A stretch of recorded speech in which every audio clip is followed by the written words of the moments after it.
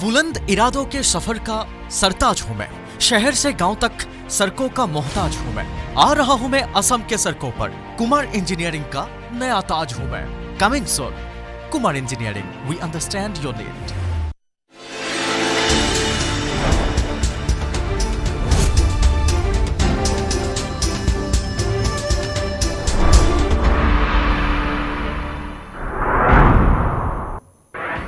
Durga Puja কমিটিক চৰকাৰে দিব আৰ্থিক সাহায্য। তিনি বছৰতকৈ অধিক পুৰণি ছয় হেজাৰ নশ তেৱন্নখন পূজা কমিটিক দহ হাজাৰ টকাকৈ দিব সাহায্য। বলপূৰ্বক চান্দা নল'বলৈ পূজা কমিটিক অনুৰোধ চৰকাৰৰ। চৰকাৰৰ এই পদক্ষেপত তীব্ৰ প্ৰতিক্ৰিয়া ব্যক্ত কৰিছে পূজা কমিটিসমূহে। সমলিংগ বিবাহক লৈ উচ্চতম ন্যায়ালয়ৰ গুৰুত্বপূৰ্ণ ৰায়। সমলিংগ বিবাহক বৈধতা প্ৰদান নকৰিলে উচ্চতম ন্যায়ালয়ে লিভ ইনৰ সন্মতি দি বিবাহত অসন্মতি উচ্চতম ন্যায়ালয়ৰ। অঞ্চল হত্যাকাণ্ডত ব্যৱহৃত পিষ্টল ভৰলুত উদ্ধাৰ। এছ ডি আৰ এফৰ সহযোগত ভৰলুত চলিছিল আৰক্ষীৰ অভিযান। এতিয়াও উদ্ধাৰ হোৱা নাই। ভৰলুত ভনীয়েকে পেলাই দিয়া গীতাশ্ৰীৰ আনটো মোবাইল। মহানগৰীৰ ছয় মাইলত পোন্ধৰ কোটি টকাৰ ড্ৰাগছ জব্দ। মণিপুৰীৰ ৰাইচ নামৰ হোটেলত এছ টি এফে জব্দ কৰে ড্ৰাগছ। ছয় কিলোগ্ৰাম। আৰক্ষীৰ জালত তিনিজন লোক। গুৱাহাটী ৰেলৱে ষ্টেচনত ন দশমিক ন ছয় গ্ৰাম সোণ জব্দ। এঘাৰ দিনে অব্যাহত ইজৰাইল আৰু হামাছৰ যুদ্ধ ইজিপ্ত সীমান্তৰে গাজালৈ সাহায্য সামগ্ৰী প্ৰেৰণ।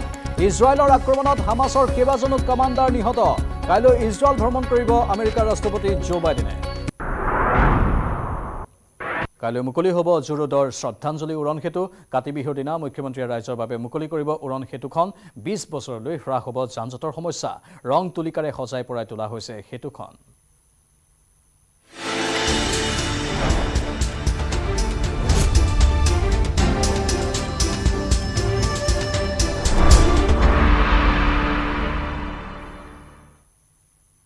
নমস্কাৰ স্বাগতম। এয়া হৈছে খবৰ মহানগৰৰ ষ্টুডিঅ'ত। মই প্ৰাঞ্চল। এতিয়া বিতং খবৰ। অঞ্জন হত্যাকাণ্ডত ব্যৱহৃত পিষ্টল উদ্ধাৰ কৰাৰ খবৰ আহিছে। ভৰলুৰ পৰা উদ্ধাৰ কৰা হৈছে পিষ্টলটো। বিহাৰৰ পৰা ক্ৰয় কৰি আনিছিল এই পিষ্টলটো। এছ ডি আৰ এফৰ সহযোগতেই ভৰলুত চলিছিল অভিযান। কিন্তু এতিয়াও উদ্ধাৰ হোৱা নাই। গীতাশ্ৰীৰ আনটো মোবাইল। ভৰলুত ভনীয়েকে পেলাই দিছিল গীতাশ্ৰীৰ মোবাইলটো। সৌৰভ গোৱেংকাই গুলীয়াই হত্যা কৰিছিল অঞ্জনক মাষ্টাৰ মাইণ্ড সৌৰভসহ ছয় অভিযুক্ত। বৰ্তমান আৰক্ষীৰ জিম্মাত আছে। গীতাশ্ৰীৰ পিতৃক প্ৰেৰণ কৰা হৈছে জেললৈ। যিহেতু আমি জানো যে সৌৰভ গোৱেংকাই বাৰ অক্টোবৰৰ নিশাৰ ভাগত হত্যা কৰিছিল অঞ্জন নাথক কইনাধৰাত সেই হত্যাকাণ্ড সংঘটিত হৈছিল নিশা ঠিক আঠ বাজি দহ মিনিটতেই হত্যা কৰি তাৰ পৰা পলাইছিল সৌৰভ গোৱেংকা আৰু লগত থকা আন এজন সতীৰ্থ। আৰু তেওঁলোকে পলায়ন কৰি ঠিক আঠ বাজি পঁচিছৰ পৰা আঠ বাজি ত্ৰিছ মিনিটৰ ভিতৰত সেই পিষ্টলটো ভৰলু নৈলৈ নিক্ষেপ কৰিছিল। আৰু আজি অৱশেষত উলুবাৰীৰ মণিপুৰী ভৱনৰ সন্মুখত এই পিষ্টলটো আৰক্ষীয়ে উদ্ধাৰ কৰিবলৈ সক্ষম হৈছে। এছ ডি আৰ এফ আৰু আৰক্ষীৰ অভিযান চলিছিল। সেই মুহূৰ্ততে এই পিষ্টলটো উদ্ধাৰ কৰা হৈছে যিটো পিষ্টলৰে অঞ্জন নাথক গুলীয়াই হত্যা কৰা হৈছিল। বিহাৰৰ পৰা ক্ৰয় কৰি অনা হৈছিল এই পিষ্টলটো।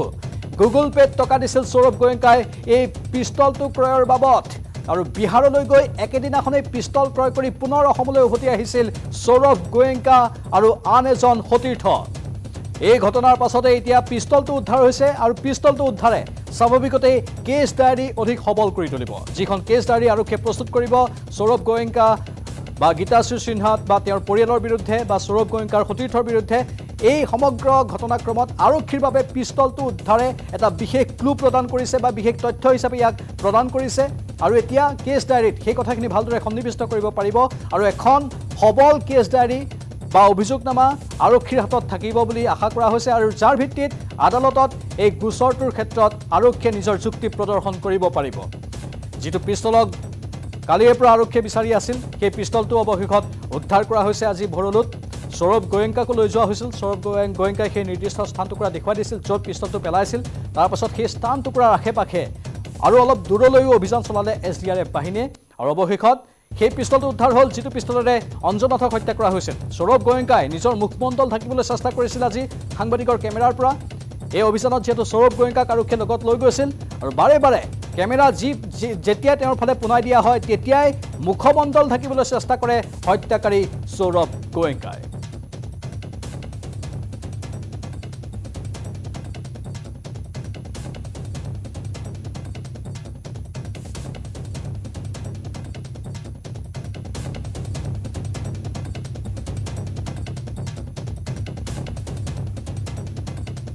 উল্লেখযোগ্য যে গীতাশ্ৰী সিনহা যিগৰাকী মূল খলনায়িকা বুলি কোৱা হৈছে গীতাশ্ৰীয়ে ইয়াৰ পূৰ্বে দুবাৰকৈ বিবাহপাশত আবদ্ধ হৈছিল। প্ৰথমগৰাকী স্বামীৰ সৈতে বিবাহ বিচ্ছেদ হ'ল দ্বিতীয়গৰাকী স্বামীৰ সৈতে এটা সন্তান হোৱাৰ পাছত বিবাহ বিচ্ছেদ হ'ল তৃতীয়গৰাকী স্বামী ত্ৰিপুৰাৰ আৰু তাৰ পাছত বাল্যবন্ধু অঞ্জনক অঞ্জনৰ সৈতে তেওঁৰ প্ৰেম হ'ল। যদিও বাল্যবন্ধু অঞ্জন বুলি কোৱা হৈছে কিন্তু বহু বছৰ তেওঁলোকৰ মাজত যোগাযোগ নাছিল। কিন্তু আজিৰ পৰা চাৰি বছৰ পূৰ্বে অঞ্জনক গীতাশ্ৰীয়ে পুনৰ লগ পায়। আৰু সেই সময়তেই তেওঁলোকৰ মাজত প্ৰেম হ'বলৈ ধৰে বা প্ৰেম তেওঁলোকৰ মাজত গঢ় লৈ উঠে। আৰু সেই প্ৰেমেই পাছত গাঢ় ৰূপ লয় আৰু তাৰ পাছত তেওঁলোকে লিভিঙত থাকিবলৈ লয়। কিন্তু গীতাশ্ৰীৰ পৰিয়াল আৰু অঞ্জনা পৰিয়ালে এই সম্পৰ্কত অসন্তুষ্টি প্ৰকাশ কৰে। আৰু পোনপটীয়াকৈ কৈ দিয়ে গীতাশ্ৰীক গীতাশ্ৰী পৰিয়ালে যে অঞ্জনৰ সৈতে নাথাকিবি বা অঞ্জনকো তেওঁৰ পৰিয়ালে কয় যে তই গীতাশ্ৰীৰ সৈতে নাথাকিবি। আৰু তাৰ পাছতে অঞ্জনে সুৰাপান কৰিবলৈ ধৰে সেই সুৰাপান অত্যধিক হাৰত হয় এক প্ৰকাৰ এলকহলিক হৈ পৰে অঞ্জন আৰু তেতিয়াই লাহে লাহে পুনৰ গীতাশ্ৰী আৰু অঞ্জনৰ সম্পৰ্কত কিছু ফাট মেলিবলৈ আৰম্ভ কৰে। আৰু সেই সময়তেই আচৰিত ধৰণে গীতাশ্ৰীয়ে সৌৰভ গোৱেংকা নামৰ যুৱকজনক লগ পায়। যিজন যুৱক গুৱাহাটীৰ ফাঁচী বজাৰৰ এখন ড্ৰাই ফ্ৰুটৰ দোকানৰ মেনেজাৰ হয় আৰু সেই সৌৰভ গোৱেংকাক লগ পোৱাৰ পাছত গীতাশ্ৰীৰ পুনৰ প্ৰেম হয়। আৰু সেই প্ৰেম অধিক গাঢ় হৈ পৰে সৌৰভৰ লগতো।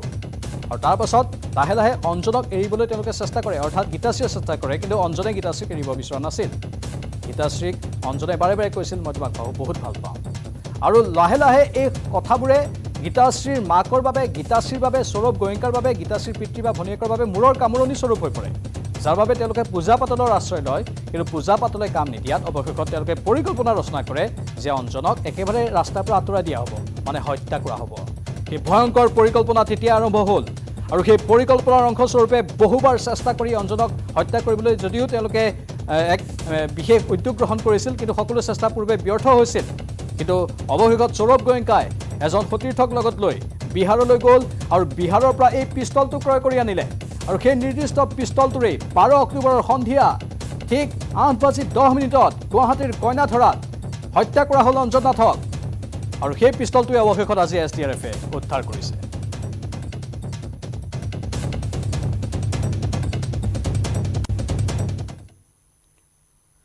আনফালে এটা মোবাইলৰ বাবে ভাগিনীয়েকক হত্যাৰ খবৰ আহিছে। মোমায়েকৰ হাতত প্ৰাণ গ'ল ভাগিনীয়েকৰ ওদালগুৰিৰ পুনিয়াত এই লোমহৰ্ষ হত্যাকাণ্ড সংঘটিত হৈছে। মোবাইলৰ বাবে দাৰে ঘপিয়াই ভাগিনীয়েকক হত্যা কৰা হ'ল। মোবাইল ফোনৰ বাবেই ইক্কাছ চাংমাক হত্যা কৰা হৈছে। পাৰ্টিউছ চাংমাৰ বিৰুদ্ধে হত্যাৰ অভিযোগ। বৰ্তমানেও পলাতক অভিযুক্ত পাৰ্টিউছ চাংমা। ভকতপাৰা আৰক্ষীয়ে আৰম্ভ কৰিছে তদন্ত। পাৰ্টিউছৰ ঘৰৰ পৰা হত্যাত ব্যৱহৃত দাখন উদ্ধাৰ কৰা হৈছে। মোবাইলৰ বাবে মোমায়েক ভাগিনীয়েকৰ মাজত হৈছিল সংঘাত। এইবাৰ এটা মোবাইলৰ বাবেই ভাগিনীয়েকক হত্যাৰ এই খবৰ। মোমায়েকৰ হাতত প্ৰাণ গৈছে ভাগিনীয়েকৰ। ওদালগুৰিৰ পুনিয়াৰ এয়া খবৰ। মোবাইলৰ বাবেই দাৰে ঘপিয়াই ভাগিনীয়েকক হত্যা কৰিলে। মোবাইল ফোনৰ বাবেই ইক্কাছ চাংমা নামৰ এই ভাগিনীয়েকক হত্যা কৰা হ'ল। পাৰ্টিউছ চাংমাৰ বিৰুদ্ধে হত্যাৰ অভিযোগ। কিন্তু বৰ্তমান পলাতক পাৰ্টিউছ চাংমা।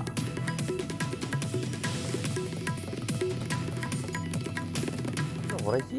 এইটো তাকে ধৰি আছে তেতিয়া মানে আমিতো নাজানো আমি গীৰ্জাত গৈছোঁ। তেতিয়া মানে ই তাকে ধৰি আছে। মোৰ দেখছি চাইকেল চব লাগিল মতে। ৰাতি ইয়াত আমি কাম কৰি আহিলোঁ।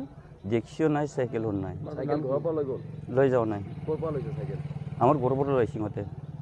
লৈ আহিছে। এজন মানুহে কিবা মোবাইলৰ মোবাইলৰ কাৰণে মোবাইলক লৈ গণ্ডগোল লাগি ওচৰৰে ল'ৰা এজনে আছে ল'ৰাজনৰ নামটো হৈছে পাৰ্টিউ চাংমা পাৰ্টিউ চাংমাই ইকাছ চাংমা নামৰ ল'ৰা এজনক দাৰে ঘপিয়াই হত্যা কৰিছে। এতিয়া বৰ্তমান আছামীজন পলাতক অৱস্থাত আছে। আমি ধৰাৰ কাৰণে পলত আছামীজনক ধৰাৰ কাৰণে আমি অভিযান চলাই আছোঁ। তদন্ত অব্যাহত ৰাখিছে তদন্ত অব্যাহত ৰাখিছোঁ মুখ্যমন্ত্ৰীয়ে চৈধ্যটা সমষ্টিত খেলিলে চৈধ্যটাতেই জিকিব। এই দাবী ৰাজ্যিক বিজেপিৰ সভাপতি ভৱেশ কলিতাৰ। লগতে লোকসভা নিৰ্বাচনক লৈ কংগ্ৰেছক প্ৰত্যাহ্বান ৰাজ্যিক বিজেপিৰ সভাপতিগৰাকীৰ। সাহস আছে যদি কংগ্ৰেছে গুৱাহাটী তেজপুৰ আৰু ডিব্ৰুগড়ত জিকি দেখুৱাওক বুলি চেলেঞ্জ ভৱেশ কলিতাৰ। ভূপেন বৰাই মিচিং জনগোষ্ঠীক অপমান কৰাৰ অভিযোগ তুলি কংগ্ৰেছক তীব্ৰ সমালোচনা ৰাজ্যিক বিজেপিৰ সভাপতিগৰাকীৰ।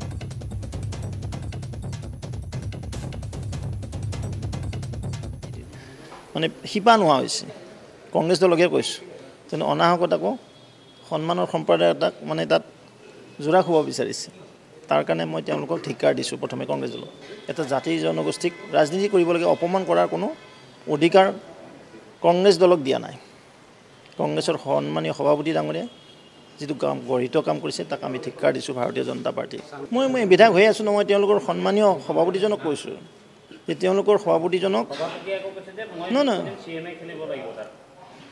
চি এম গোটেইকেইটাত খেলি জিতি আহিব। মই ইমানেই ক'লোঁ। আৰু তেওঁলোক চৈধ্যতাতে হাৰিব। বুজি পাইছেনে? মাননীয় মুখ্যমন্ত্ৰী য'তেই খেলে তাতে জিতি যাব। কিন্তু তেওঁলোকে কওক কংগ্ৰেছে গুৱাহাটী জিতক চাওঁ মংগলদৈ জিতক তেজপুৰ জিতক ডিব্ৰুগড় জিতক লখিমপুৰ জিতক চাওঁ পাৰে নদী দম আছে যদি কংগ্ৰেছ দলৰ। এটাও নাই। কংগ্ৰেছটো বিগ জিৰ' হ'ব। হয়তো অন্য দলে আসন পাব পাৰে কিন্তু কংগ্ৰেছে অসমৰ ক্ষেত্ৰত মই কৈছোঁ প্ৰথমবাৰ কৈছোঁ আজিও কৈছোঁ যে Congress will be big zero' next parliament election. In case of Assam শিলচৰত বৰাক নদীত উটি গ'ল দুই ভাতৃ। গা ধুবলৈ গৈ নদীত উটি গ'ল দুই কিশোৰ। বন্ধুৰ সৈতে গা ধুবলৈ গৈছিল দুই কণমানি ভাতৃ। বৰাক নদীত সন্ধানহীন সুমিত হাজম আৰু সমীৰ হাজম।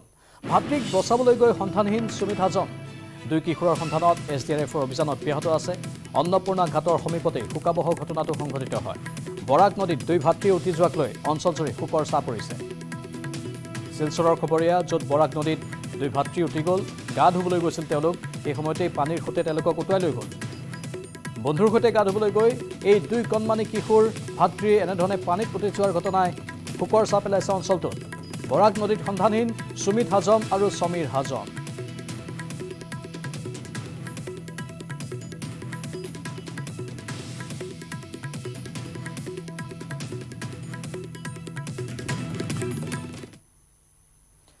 দুৰ্গা পূজাৰ পূৰ্বে ৰাজ্যিক কেবিনেটৰ গুৰুত্বপূৰ্ণ সিদ্ধান্ত। দুৰ্গা পূজা কমিটিক চৰকাৰে দিব আৰ্থিক সাহায্য। মুখ্যমন্ত্ৰীৰ ঘোষণাৰ পিছতে কেবিনেটত এই সিদ্ধান্ত লোৱা হৈছে। তিনি বছৰতকৈ অধিক পুৰণি ছয় হেজাৰ নশ তেৱন্নখন পূজা কমিটিক দিব সাহায্য। প্ৰতিখন পূজা কমিটিক দিব দহ হাজাৰকৈ টকাৰ সাহায্য। বিহু সমিতিৰ পাছত এইবাৰ পূজা সমিতিলৈও চৰকাৰে আগবঢ়াব এনেধৰণৰ সাহায্য। পৰৱৰ্তী সময়ত ৰাস মহোৎসৱতো সাহায্য দিব চৰকাৰে।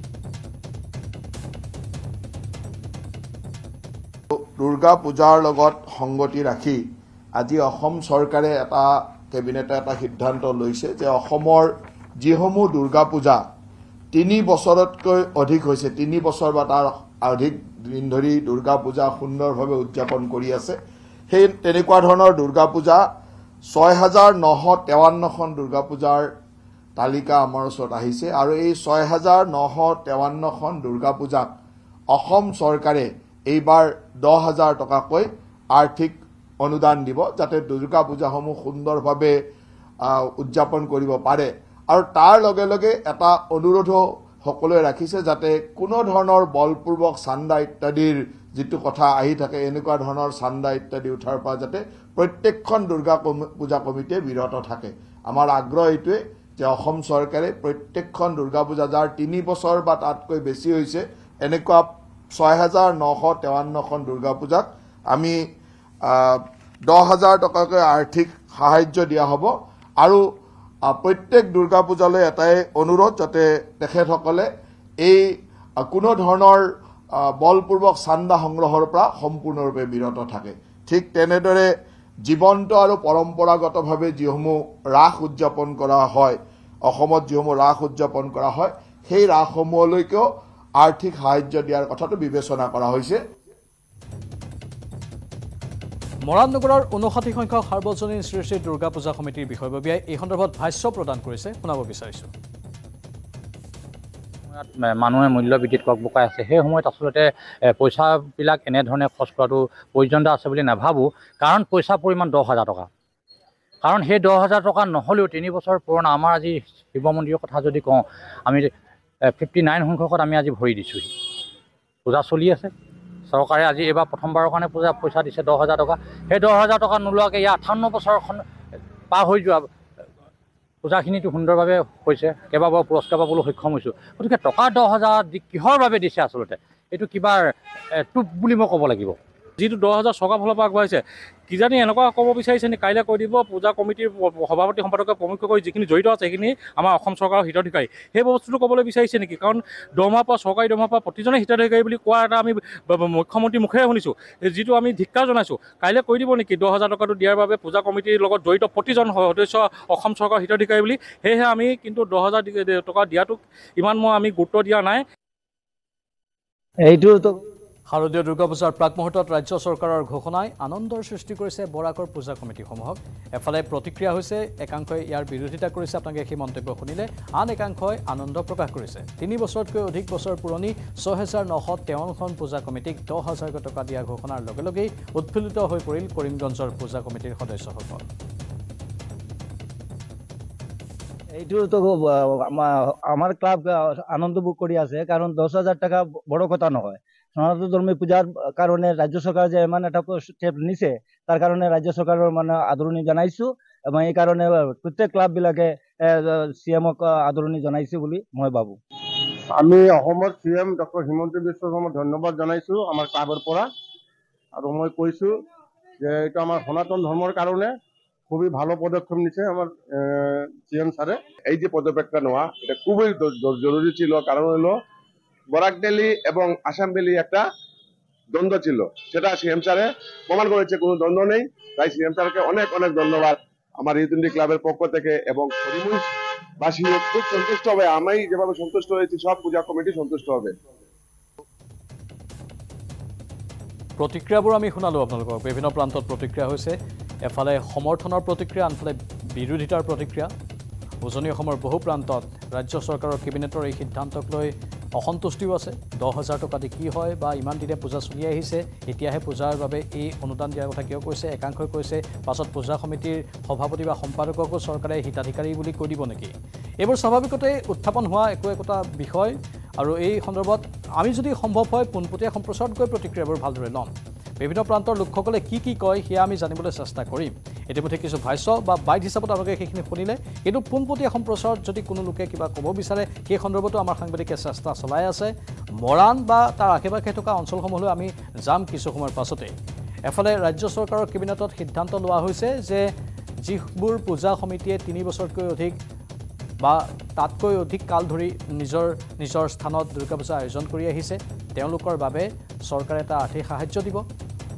কেবিনেটত এই সিদ্ধান্ত লোৱা হৈছে। তিনি বছৰতকৈ অধিক পুৰণি ছয় হেজাৰ নশ তেৱন্নখন পূজা সমিতিক চিনাক্ত কৰা হৈছে। যাক সাহায্য দিয়া হ'ব। আৰু এনেধৰণৰ প্ৰতিখন পূজা কমিটিক দহ হাজাৰকৈ টকা সাহায্য হিচাপে আগবঢ়াব ৰাজ্য চৰকাৰে। বিহু সমিতিক ইয়াৰ পূৰ্বে সাহায্য আগবঢ়াইছিল। এইবাৰ পূজা সমিতিলৈও চৰকাৰে আগবঢ়াব এই সাহায্য। আৰু পৰৱৰ্তী সময়ত ৰাস মহোৎসৱতো সাহায্য দিয়াৰ কথা উল্লেখ কৰা হৈছে। কিন্তু এই সাহায্য দিয়াৰ যি কথা সেই কথাক লৈ বহুতৰ মাজত অসন্তুষ্টি আছে। অৱশ্যে বহুতে সমৰ্থনো আগবঢ়াইছে। বৰাগৰ বিভিন্ন প্ৰান্তৰ লোকসকলে ইয়াত সমৰ্থন আছে বুলি কৈছে। আনন্দিত তেওঁলোক। আনফালে মৰাণ আৰু ইয়াৰ আশে পাশে থকা বহু অঞ্চলত বিৰোধিতাও শুনিবলৈ পোৱা গৈছে। ঋষেশ্বৰ বৰুৱা আছে আমাৰ সৈতে লাইভত মৰাণৰ পৰা। আমি পোনপটীয়া সম্প্ৰচাৰত গৈছোঁ। ঋষেশ্বৰ বৰুৱা আমাৰ সৈতে আছে। ঋষেশ্বৰ মৰাণৰ লোকসকলে কি ক'ব বিচাৰে? ৰাজ্যিক কেবিনেটৰ এই সিদ্ধান্তৰ পাছত। হয় নিশ্চয়কৈ। মৰাণতো একাংশ পূজা সমিতি এতিয়া উৎফুল্লিত হৈ পৰিছে যিহেতু পূজা সমিতিসমূহলৈ দহ হাজাৰ টকাকৈ ঘোষণা কৰা হৈছে। কিন্তু একাংশই কিন্তু তীব্ৰ ক্ষোভ প্ৰকাশ কৰিছে। আৰু মোৰ সৈতে আছে মৰাণ নগৰস্থিত এখন অতি পুৰণি পূজা সমিতিৰ বিষয়ববী আছে। মই পোনে পোনে আপোনাৰ ওচৰলৈ আহিছোঁ। কি প্ৰতিক্ৰিয়া প্ৰকাশ কৰিব শেহতীয়াকৈ আপোনালোক গম অৱগত হৈছে যি হয় কিছু সময় আগত সংবাদ মাধ্যমৰ যোগেদি গম পালোঁ বৰ্তমান অসম চৰকাৰৰ যি কেবিনেট কেবিনেটে সিদ্ধান্ত গ্ৰহণ কৰিছে যে এইবাৰ বিহু নিচিনাকৈ যিসমূহে পূজাৰ উদযাপন কৰিছে তিনি বছৰ পুৰণা পূজাক দহ হাজাৰকৈ টকাকৈ অনুদান আগবঢ়াব। নিশ্চয় ক'ৰবাত ইয়াত উৎফুল্লিত হ'বলগীয়া আছে বুলি মই নাভাবোঁ কাৰণ এখন পূজা পাতিবলৈ আজিৰ তাৰিখত মই যদি চহৰ অঞ্চলৰ কওঁ কথা কওঁ আৰু আমাৰ এখন পূজা অতি পুৰণি পূজা আঠাৱন্ন বছৰ হৈ গৈছে গতিকে এই পূজাখন আমি আঠাৱন্ন বছৰ বিগত সময়ত জ্যেষ্ঠসকলে উদযাপন কৰি আহিছে আৰু এইবাৰ কেইবাবছৰ ধৰি আজি প্ৰায় মই দহ বছৰ এজন এই পূজাখনৰ সম্পাদক হিচাপে দায়িত্ব পালন কৰি আছোঁ গল্ডেন জুবলিৰ প্ৰায় আঠ বছৰ এইবাৰ ন বছৰ হ'ল। গতিকে এই কথাটো খুব এইটো কাৰণে থাকিব। কাৰণ চৰকাৰৰ কিছুমান পদক্ষেপক আদৰণি জনালেও ধন্যবাদ দিলেও কিছুমান পদক্ষেপক আচলতে ধন্যবাদ দিবলৈ অলপ কুণ্ঠাবোধ কৰিবলগীয়া হয়। কাৰণ আমি জানো দহ হাজাৰ টকাকৈ অনুদান তেওঁলোকে আগবঢ়াইছে আৰু ছহেজাৰ নশ তেপন্নখনক বঢ়াইছে। মানে কেইবা কোটি টকা অসম চৰকাৰৰ যি ৰাজহ বা অসম চৰকাৰৰ যি নিজৰ মানে ৰাজহ বুলি নহয় এইটো ৰাজ্যৰ ৰাজহ যিটো য'ত জমা হৈ আছে তাৰ পৰা দিব লাগিব। কাৰণ কোনেও পকেটৰ ধন নিদিয়ে। তেনে ক্ষেত্ৰত যি সময়ত অসম চৰকাৰৰ লাখ কোটি টকাৰ ধাৰত পোট খাই আছে যি সময়ত অসমৰ প্ৰতিজন মানুহৰ মূৰত পঁয়ত্ৰিছ হাজাৰ টকা ধাৰৰ বোজা লৈ আছে তেনেকুৱা এটা সময়ত আচলতে এনেকুৱা ধৰণৰ ৰাজৰ কিন্তু ক্ষতি কৰাটো কোনো প্ৰাসংগিকতা আছে বুলি মই নাভাবোঁ। মই যদি প্ৰকৃততে মূল্যবুদ্ধিৰ কথা চাওঁ দেখিম বৰ্তমান সময়ত অসমত সংবাদ মাধ্যমত প্ৰকাশ পোৱা বা দৃষ্টিগোচৰ হৈছে যে কিছুমান বিল্ডিং বনাইছে পুৰণা হোৱাই নাই আকৌ ভাঙি কেইবা কোটি টকাত নতুনকৈ নিৰ্মাণ কৰা দেখা গৈছে। আটক ধুনীয়াকৈ। আচলতে এইবোৰ ৰাজৰ লোকচান হৈছে। গতিকে আমি নিয়মানুবৰ্তিতাভাৱে পূজাসমূহ অনুষ্ঠিত কৰি আহিছোঁ। সকলোৱে অনুষ্ঠিত কৰিব। চৰকাৰে জনা কথা জনা প্ৰয়োজন আছিলে এইটো কথা যে দহ হাজাৰ টকা এখন পূজাক দি কিবা লাভ হ'বনে? যদি এখন পূজা সমিতিক চৰকাৰে দহ হাজাৰ টকা দিয়ে সেই দহ হাজাৰ টকাত আমাৰ প্ৰেছৰ খৰচটোৱেই নহ'ব। কাৰণ এটা পেণ্ডেল বনাবলৈ আজিৰ তাৰিখত আপোনাৰ ডেৰ দুই লাখ টকা লাগিব চহৰ অঞ্চলত। মূৰ্তি আজিৰ তাৰিখত আপোনাৰ ষাঠি সত্তৰ হাজাৰ টকা পৰে। লাইটিং বুলি ক'লে সত্তৰ আশী হাজাৰ টকা পৰে। সেই দহ হাজাৰ টকাত আমি ক'ত যোগ কৰিম? গতিকে দহ হাজাৰ টকা আমাৰ সাধাৰণ খৰচ এটা নহয় গতিকে সাধাৰণ খৰচ নহয় সেই কথাটো কিন্তু চৰকাৰে বুজি পাব লাগিছিলে। সেইকাৰণে চৰকাৰে এই ৰাজহটো বৃহৎ এটা ক্ষতি বুলি ক'ব লাগিব চৰকাৰৰ কিন্তু বৃহৎ ক্ষতি পিনে ৰাইজৰ ৰাজহ এটা বৃহৎ ক্ষতি কৰিছে। গতিকে ইয়াত কিন্তু চৰকাৰে এইটো বিবেচনা কৰা উচিত আছিল। সংস্কৃতিও বন্ধ কৰিবলৈ আহ্বান জনাইছে আচলতে চান্দা সংস্কৃতি চান্দা সংস্কৃতি বুলি আচলতে এই কথাবিলাক কোনে টানি আনে? এই কথাবিলাকতো আমি আঠাৱন্ন বছৰে পূজা পাতিছোঁ। পূজা ধুনীয়াকৈ আয়োজন কৰি আহিছোঁ। আমি কেইবাবাৰো প্ৰথম পাবলৈ সক্ষম হৈছোঁ প্ৰায় চল্লিছখন পূজাৰ ভিতৰত। দ্বিতীয় স্থান পাবলৈ সক্ষম হৈছোঁ। আৰু এখন হ'ল শিৱ মন্দিৰৰ পূজা ইয়াত জাতি বৰ্ণ ভাষা ধৰ্ম নিৰ্বিশেষে সকলো ৰাইজে পূজা পাতে। পূজা বস্তুটো এনেকুৱা ধৰণৰ নহয় যে পূজাখন কোনোবা এটা জাতিয়ে বা জনগোষ্ঠীয়ে পাতে।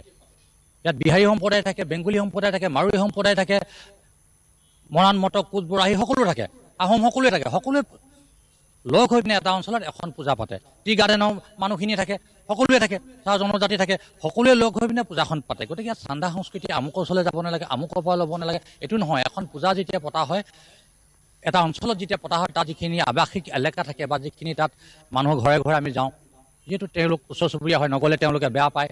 যিখিনি ব্যৱসায় প্ৰতিষ্ঠান আছে তাত অসমীয়া মানুহৰ ব্যৱসায় প্ৰতিষ্ঠানো আছে মুছলিম সম্প্ৰদায়ো আছে মাৰোৱাৰী সম্প্ৰদায়ো আছে বেংগলী সম্প্ৰদায়ো আছে বিভিন্ন জনগোষ্ঠী সম্প্ৰদায়ো আছে অসমীয়া বাৰু সকলোৱে কিন্তু বিভিন্ন জনগোষ্ঠী সম্প্ৰদায় মুছলিম সম্প্ৰদায় বিহাৰী সম্প্ৰদায় সকলোৱে দোকান আছে আমি সকলো ওচৰলৈ যাওঁ। গতিকে ইয়াত চান্দা সংস্কৃতি বুলি আচলতে এই কথাবিলাক তেওঁলোকে আচলতে যিহেতু এজন এজন উচ্চ পদস্থৰ মন্ত্ৰী হয় বা বিষয়া হয় তেওঁলোকৰ মুখত এই কথাবিলাক শোভা নাপায়। সেই কথাবিলাক টানি আনি এইবিলাক কথাবিলাক টানি আনিলে কি হয় আচলতে এটা মানে সংঘৰ্ষ হোৱাৰ সুবিধা থাকে। কাৰণ সমাজত চাব আপুনি দুই এজন মানুহ সদায় বেয়া থাকে।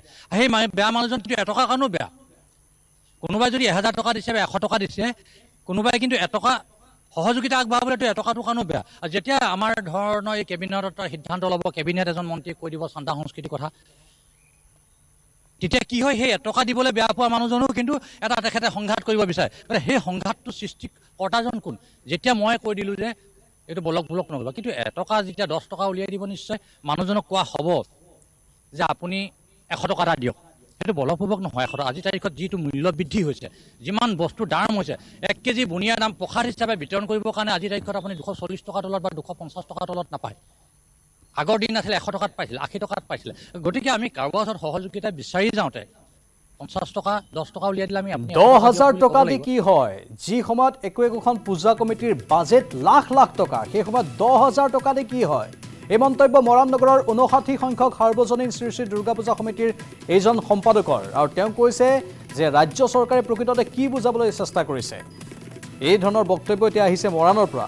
আনফালে গুৱাহাটীৰ পৰাও কিছু বক্তব্য আহিব পৰৱৰ্তী সময়ত আমি শুনাবলৈ চেষ্টা কৰিম। পোনপটীয়া সম্প্ৰচাৰত আমাৰ সাংবাদিক পৰৱৰ্তী সময়ত লাইভত থাকিব আৰু তেওঁলোকে বিভিন্ন প্ৰান্তৰ পৰিৱেশ দেখুৱাব বা ভাষ্যবোৰ আগবঢ়াব।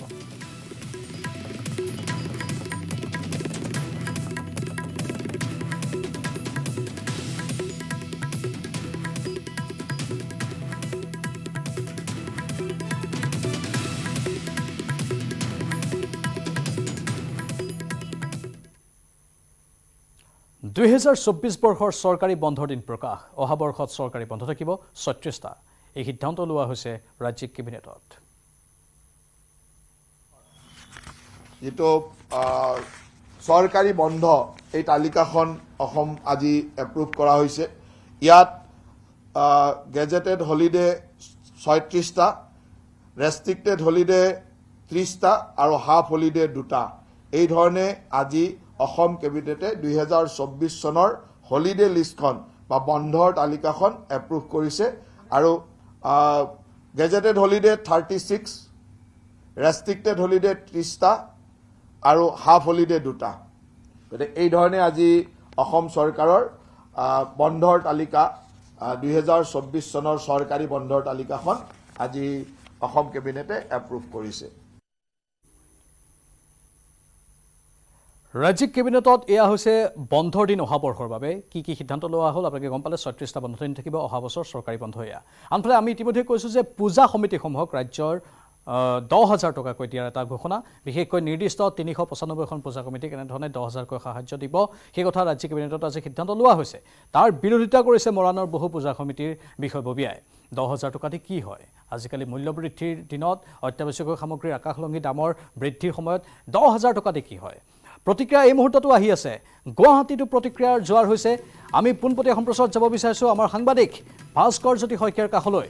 ভাস্কৰ জ্যোতি শইকীয়া আপুনি বৰ্তমান ক'ত উপস্থিত আছে আৰু এই সন্দৰ্ভত কি প্ৰতিক্ৰিয়া আহিছে সেয়া আপোনাৰ পৰা জানিব বিচাৰিম আমি। সংযোগ স্থাপন কৰিবলৈ চেষ্টা অব্যাহত ৰাখিছোঁ। হয়তো কিছু সময়ৰ পাছতে আমি সংযোগ স্থাপন কৰিবলৈ সক্ষম হ'ম। কিন্তু ইতিমধ্যে আমি কৈছোঁ যে ৰাজ্যিক কেবিনেটৰ এই সিদ্ধান্তৰ পাছত মিশ্ৰিত প্ৰতিক্ৰিয়া হৈছে। ক'ৰবাত অসন্তুষ্টি ক'ৰবাত সন্তুষ্টিৰ হাঁহি। বিশেষকৈ বৰাক উপত্যকা বহু পূজা কমিটিয়ে আনন্দ প্ৰকাশ কৰিছে। তেওঁলোকে কৈছে দহ হাজাৰ টকাটো ডাঙৰ কথা নহয় কিন্তু ৰাজ্য চৰকাৰে যে বিবেচনা কৰিছে সেইটোৱে ডাঙৰ কথা। আনফালে অসমৰ মৰাণৰ বিভিন্ন প্ৰান্তত প্ৰতিক্ৰিয়া এনেধৰণে আহিছে যে ৰাজ্য চৰকাৰে দহ হাজাৰ টকা দিব বিচাৰিছে কিন্তু দহ হাজাৰ টকাত জানো কিবা হয়? চান্দা একেবাৰে বন্ধ কৰিব লাগে বুলি কোৱা হৈছে। চান্দা এই সমগ্ৰ প্ৰথাটো আচলতে চান্দা বুলি ইয়াক কোৱাটোৱেই ভুল বুলি একাংশ সমিতিয়ে উল্লেখ কৰিছে। পূজাৰ সৈতে চান্দা বিষয়টো সাঙুৰ খাই নপৰে বুলি কোৱা হৈছে। ভাস্কৰ জ্যোতি শইকীয়াৰ কাষলৈ গৈছোঁ গুৱাহাটীত আছে তেওঁ। ভাস্কৰ আপুনি বৰ্তমান কোনখন পূজা সমিতিত উপস্থিত আছে? কি প্ৰতিক্ৰিয়া প্ৰকাশ কৰিব বিচাৰে এই দহ হাজাৰকৈ সাহায্য দিয়া বিষয়টোত? হয় নিশ্চয়কৈ প্ৰাঞ্জল মই বৰ্তমান উপস্থিত আছোঁ যি পুলিচ হেডকোৱাৰ্টাৰ আছে উলুবাৰীৰ সমীপত উলুবাৰীৰ সমীপৰে যি পুলিচ হেডকোৱাৰ্টাৰ আছে পুলিচ হেডকোৱাৰ্টাৰৰ ওচৰৰ যি এঘাৰ বছৰীয়া পূজা এখনত মই বৰ্তমান উপস্থিত আছোঁ। মোৰ লগত এই পূজাখনৰ যিহেতু দাদা এই চৰকাৰে দহ হাজাৰ টকাকৈ যিসমূহ তিনি বছৰতকৈ ঊৰ্ধৰ যিসমূহ পূজা আছে পূজা সমিতিসমূহক তিনি দহ হাজাৰ টকাকৈ এটা ডনেশ্যন দিয়াৰ দান দিয়াৰ ক- কথা ইতিমধ্যে উল্লেখ কৰিছে। কিন্তু ক- কথা ইতিমধ্যে উল্লেখ কৰিছে। কেনেকুৱা বিষয়টোক লৈ আপুনি কি মন্তব্য দিব বিচাৰিব? এইটো আমি মাননীয় মুখ্যমন্ত্ৰীয়ে যিখন ঘোষণা কৰিলে মানে খুবেই ভাল লাগিছে। আজি অত বছৰে আমি পোৱা নাছিলোঁ। আমাৰ এই পূজাখনৰ প্ৰায় এঘাৰ বছৰ বেছি হৈ গ'ল। আৰু খুবেই ভাল পাইছোঁ আমি। এনেকৈ যে ঘোষণা কৰিছে সেইটো মানে খুবেই ভাল পাইছোঁ আমি। মানে খুব আনন্দিত হৈছোঁ। আমাৰ কমিটিৰ মানুহো খুব আনন্দিত হৈছে। আনকি মানে ওচৰৰ চাপৰ মানুহো এইটো ভাল পাইছে। আৰু আমাৰ উলুবাৰী বাৰবাৰী শিৱ আৰু শনি মন্দিৰ দুৰ্গা পূজা কমিটি আপোনাৰ এঘাৰ বছৰ ওপৰত হ'ল। আৰু ইয়াতে আমি কমিটিত আপোনাৰ কৰ কমিটিও আছে তাতে সাতজনীয়া মানুহ আছে। আৰু তাৰপিছত এক্সিকিউটিভ কমিটিও বনাইছোঁ। তাতে এঘাৰজন আছে। আমি ওচৰৰ ৰাইজৰ সহায়ত পূজাটো ভালকৈ পাতি আছোঁ। আৰু আশা কৰিছোঁ আপোনালোকৰ সহায়তো এতিয়া ভাল লাগিছে। আপোনালোকে আহি যে এখন সুধিছে খুব ভাল লাগিছে।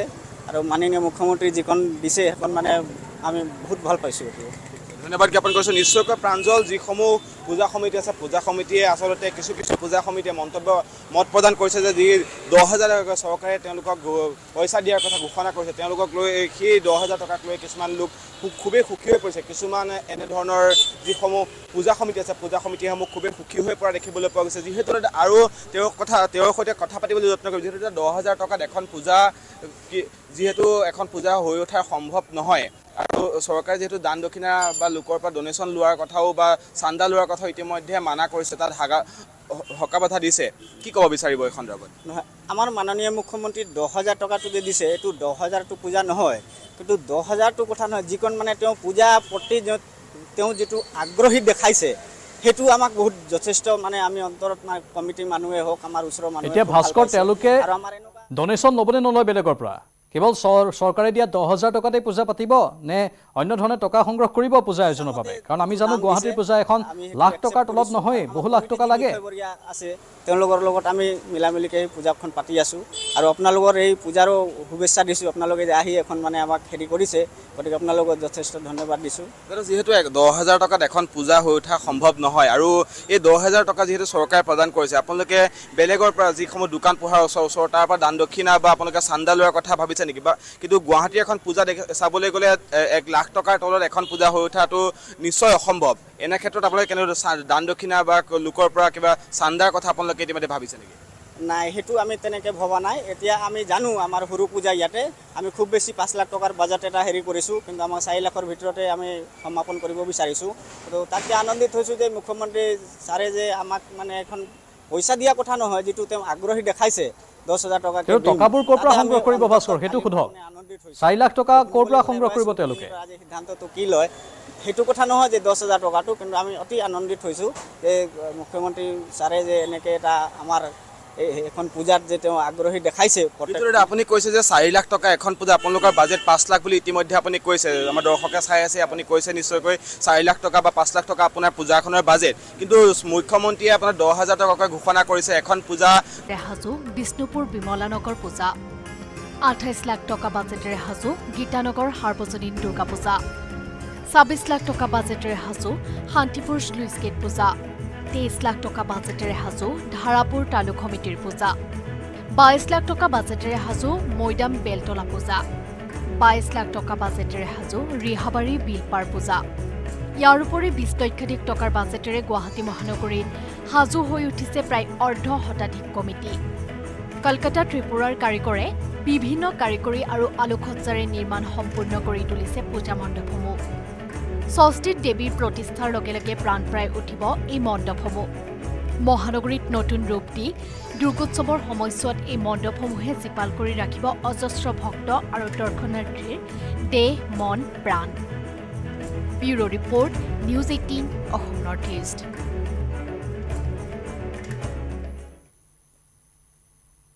Durga পূজালৈ মাজত মাত্ৰ দুদিন ৰাজ্যজুৰি দুৰ্গতি নাশিতি কাটৰাৰ বাবে ব্যাপক প্ৰস্তুতি। কেদাৰনাথ মন্দিৰে চাব নে বৃন্দাবনৰ প্ৰেম মন্দিৰ?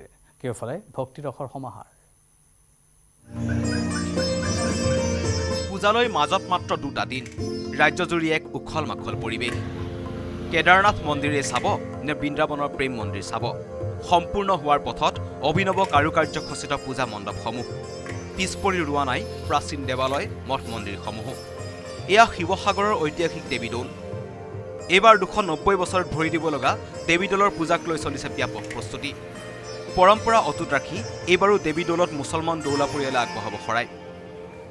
এইবাৰ দুশ নব্বৈ বছৰ হৈছে ইয়াত আমাৰ। আমি সেইমতে চলিম আৰু আমি খালি সংযোজন কৰিছোঁ এইবাৰ। এইবাৰ আমাৰ আৰতী প্ৰতিযোগিতা হ'ব। ষষ্ঠী আৰু সপ্তমীত আৰতী প্ৰতিযোগি প্ৰতিযোগিতাটো হ'ব। আৰু অষ্টমীত আপোনালোকে জানেই আৰু সমগ্ৰ অসমবাসীয়ে জানে যে আমি ইয়াৰ দৌলা পৰিয়াল আৰু বৰপাত্ৰ গোহাঁই পৰিয়ালক আমি ইয়াৰ পৰা নৈবদ্য আগবঢ়াওঁ। সেই সেই কাৰ্যসূচীও আমি অষ্টমীৰ দিনাখন কৰিম। উত্তৰাখণ্ডৰ কেদাৰনাথ মন্দিৰৰ আৰ্হিত ৰহাৰ পুৰণা চাৰিআলি দুৰ্গা পূজা সমিতিয়ে এইবাৰ নিৰ্মাণ কৰিছে আটক ধুনীয়া মণ্ডপ। ৰূপালী জয়ন্তী বৰ্ষত ভৰি দিয়া পুৰণা চাৰিআলি পূজা সমিতিয়ে পঁয়ত্ৰিছ ফুট উচ্চতাৰে নিৰ্মাণ কৰিছে মণ্ডপভাগ। কেদাৰনাথ ধামৰ কাষত তললৈ আছে এটা গুহাৰ মাজত সেই মন্দিৰভাগ থাকিব য'ত আমি দুৰ্গাৰ আৰাধনা কৰিম দুৰ্গা মাৰ আৰাধনা কৰিম। শিলিগুৰিৰ শিল্পীসকলে বনাই আছে। সেইটো এটা ডাঙৰ গুহা তাৰ মাজতে আমাৰ দুৰ্গাৰ আৰাধনা হ'ব সেইটো সম্পূৰ্ণ হৈ উঠিছে নেকি? সেইটো সম্পূৰ্ণ হৈ উঠা নাই। ৰং দিয়া কাম তেওঁলোকে আৰম্ভ কৰিছে। ঢেকীয়াজুলিৰ ৰাক্ষস সামৰিক সাৰ্বজনীন দুৰ্গা পূজা সমিতিয়ে সাত লাখ টকা ব্যয় সাপেক্ষে নিৰ্মাণ কৰিছে আকৰ্ষণীয় মণ্ডপ। গহপুৰৰ কুৰিৰো অধিক শিল্পালয়ত দেৱীৰ প্ৰতিমাত অন্তিম পৰশ দিয়াত ব্যস্ত মৃৎশিল্পীসকল ব্যতিক্ৰম হোৱা নাই ধুবুৰী। ধুবুৰী জিলাত সাজু হৈ উঠিছে প্ৰায় তিনিশ পঞ্চাছখন দুৰ্গা পূজা। ৰং বিৰঙী আলোকসজ্জাৰে সজাই তোলা হৈছে পূজা মণ্ডপসমূহ। বাইহাটা চাৰিআলিতো দেৱীৰ প্ৰতিমাত অন্তিম পৰশ দিয়াত ব্যস্ত হৈ পৰিছে মৃৎশিল্পীসকল বৃহৎ বাজেটেৰে সাজু হৈ উঠিছে গুৱাহাটীৰ ৰেচ কেম্প কালিবাৰী দুৰ্গা পূজা। এইবাৰ ৰেচ কেম্প দুৰ্গা পূজাত বিশেষ আকৰ্ষণ হিচাপে ৰাখিছে মাছৰ একুৰিয়াম সোতৰ ফুট উচ্চতাৰ দুৰ্গাৰ প্ৰতিমা মূল প্ৰৱেশদ্বাৰত আছে মহাদেৱ পাৰ্বতী গণেশৰ বিশাল আকাৰৰ মূৰ্তি। আমাৰ ৰেষ্টকেম কালিৰ পৰা উম, শুভেচ্ছা জ্ঞাপন কৰি আছো আৰু উত্তৰ পূৰ্বাঞ্চলৰ যিমান মানুহ আছে চবে পূজাৰ শুভেচ্ছা আৰু আমাৰ পূজাটো চাবৰ কাৰণে আমন্ত্ৰণ জনাই আছো। আৰু আমাৰ পূজা এইটো ছেভেণ্টি ফাইভ ইয়াৰ্ছৰ পূজা। শিৱসাগৰৰ উমা শিল্পালয়ত সত্তৰৰো অধিক দেৱী দুৰ্গাৰ প্ৰতিমাত অন্তিম পৰশ দিয়াত ব্যস্ত মৃৎশিল্পীসকল সাজু হৈ উঠিছে দৰঙৰ খাৰুপেটীয়াৰ নেতাজী পূজা সমিতি। বৃন্দাবনৰ প্ৰেম মন্দিৰৰ আৰ্হিত এইবাৰ নিৰ্মাণ কৰিছে মণ্ডপভাগ। Bureau' report News eighteen Assam north east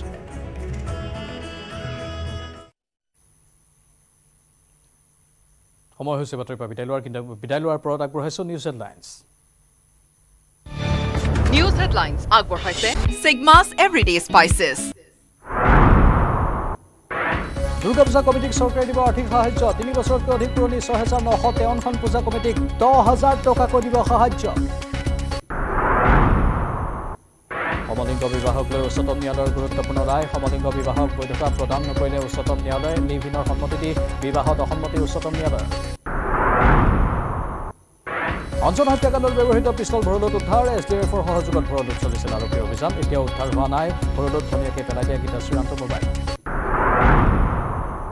মহানগৰীৰ ছয় মাইলত পোন্ধৰ কোটি টকাৰ ড্ৰাগছ জব্দ মণিপুৰী ৰাইচ নামৰ হোটেলত এছ টি এফে জব্দ কৰে ছয় কিলোগ্ৰাম ড্ৰাগছ এঘাৰ দিনা অব্যাহত ইজৰাইল আৰু হামাছৰ যুদ্ধ ইজিপ্ত সীমান্তৰে গাজালৈ সাহায্য সামগ্ৰী প্ৰেৰণ ইজৰাইলৰ আক্ৰমণত হামাছৰ কেইবাজনো কামাণ্ডাৰ নিহত। কাইলৈ মুকলি হ'ব। জুৰুডৰ শ্ৰদ্ধাঞ্জলি উৰণ সেতু। কাতি বিহুৰ দিনা মুখ্যমন্ত্ৰীয়ে ৰাইজৰ বাবে মুকলি কৰিব। উৰণ সেতুখন বিছ বছৰলৈ হ্ৰাস হ'ব। যান জঁটৰ সমস্যা। নিউজ হেডলাইন্স আগবঢ়াইছে